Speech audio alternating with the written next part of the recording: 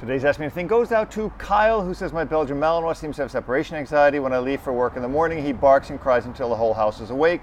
He don't leave my side, which is a good thing, but I can't use the bathroom without him sitting, sitting outside my door. Any pointers? Yeah, you don't have a great idea because him not leaving your side is not a good idea. That's actually a bad idea because what he's doing is he's building this need to be with you, which he really shouldn't have. He should be independent. He should be able to be fine to be alone and all that. And you better start working on that now because if he is um, well, you're not giving me his age, but no matter what age he is, it's a disaster. It's a, it's a recipe for disaster. So what I would do, I would learn, I would teach him to learn how to be in a crate. I would give him a marrow bone, a big bone, so he doesn't choke on it. I'd give him some kongs with some peanut butter and almond butter in it. Teach him to be alone. Don't respond to when he cries and when he barks, and you maybe you have to put him in the garage for a while or in a room where you can close the door so nobody pays attention to him when he starts barking. But you're going to need to do this in slow duration, slow, slow, slow.